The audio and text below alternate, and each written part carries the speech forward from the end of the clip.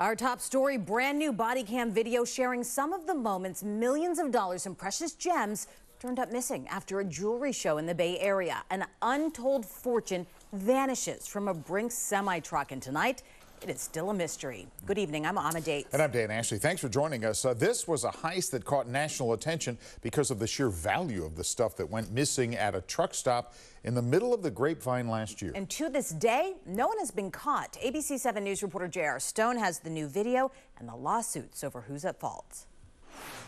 That was that was our seal. That's your seal. We had a lock on here. You got a lock on here, yep. And it's gone. I don't even know where the lock is. We kind of okay. looked around for it, but there's nothing to be found. This is all new body camera video showing the aftermath of a jewelry heist. The two men you see here are Brinks security guards, one of whom came back to their truck to find a broken lock and bags of jewels that they were transporting gone. I counted 49. 49? Out of how many? 73. That's a lot. 24 bags containing millions worth of jewelry were stolen from this Brinks semi truck, according to this video from the LA County Sheriff's Department provided to us by a lawyer. The two guards had picked up the diamonds and other jewels at a show in San Mateo and were en route to Pasadena, according to their statements in this video. Investigators believe the theft of those bags happened at this truck stop in Lebec, an unincorporated area along I 5, in the early morning hours. In fact, the video also records those from Brinks acknowledging that one guard was sleeping in the front of the truck, the other inside the Flying J getting a meal my view, this isn't guarding the goods, and it's an unarmored trailer. Jerry Kroll represents 14 jewelers whose goods were stolen. Brinks has filed suit against them. They have filed suit against Brinks. It looks like there was just a, a padlock on the back. A padlock, two guards, one sleeping, the other inside, in our view, not guarding the goods.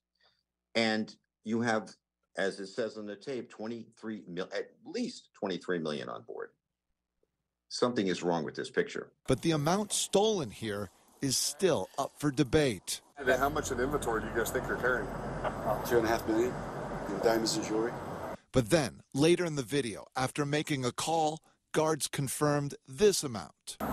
Value inside this thing before anything happens 23 million. In a statement, those with Brinks say, according to the information the customers provided to us before they shipped their items, the total value of the missing items is less than 10 million.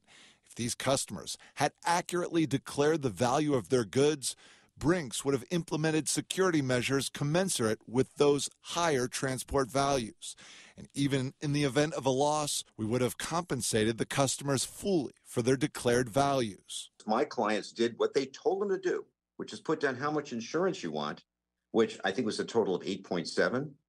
That therefore that's the number. And they're accusing my clients effectively of lying to them simply because my clients did what they asked them to do. What doesn't make sense to me is you would think the back half of the trailer would be empty rather than leapfrogging the stuff. Right. Why, why wouldn't you take that? I mean, right. like I said, I don't know, but it's hard to say unless they knew exactly what was in here.